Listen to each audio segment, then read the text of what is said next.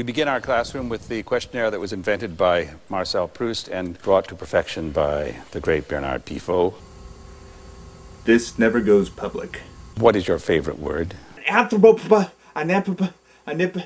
What is your least favorite word? Reveal. What turns you on? Pony! I want one! What turns you off? AIDS. It kinda sucks. What sound or noise do you love? What sound or noise do you hate? Now, the question that America is waiting to hear you answer. Can I get you to sign a copy of Battle Royale?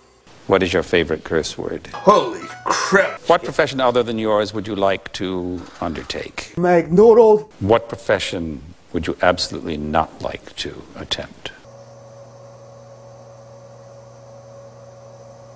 If heaven exists, what would you like to hear God say when you arrive at the pearly gates? I'm back, baby!